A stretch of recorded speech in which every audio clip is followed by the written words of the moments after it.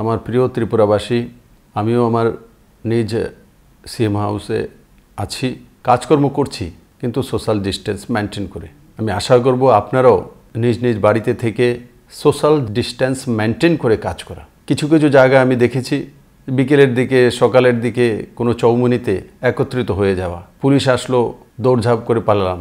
আমি আপনাদেরকে বলব, যদি আপনারা এইভাবে নিজেদেরকে এই বিপদের মধ্যে ফেলেন শুধু নিজেদেরকে নয়, পুরো ত্রিপুরাকে, পুরো দেশকে সেই বিপদের মধ্যে নিয়ে আসছেন। আমি আপনাদেরকে বিনম্রভাবে নিবেদন করব যে আপনারা নিজ নিজ বাসায় থাকুন ও সোশ্যাল ডিস্টেন্স মেনটেন করে থাকুন। ত্রিপুরাতে এই পর্যন্ত কোনো পজিটিভ কেস নেই, তার জন্য আপনারা নিশ্চিন্তে থাকুন।